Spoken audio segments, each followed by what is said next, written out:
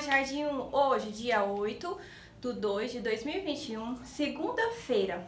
Vamos começar nossa aula com a disciplina de linguagem oral.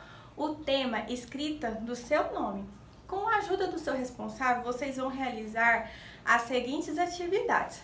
A primeira está perguntando quem escolheu o seu nome? Quem foi? O papai, a mamãe?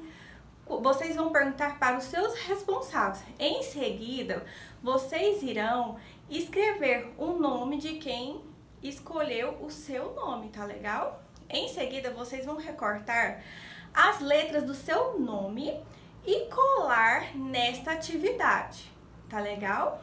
E a nossa segunda atividade, com a ajuda do seu responsável, você vai pintar as bolhas com as letras do seu nome, combinado? E a nossa disciplina de matemática.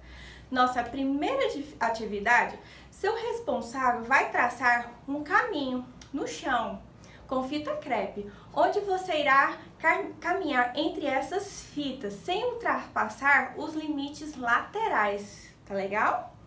E a nossa segunda atividade, vocês vão ajudar a Mônica a chegar nas flores. Olha só, ela quer chegar nas flores.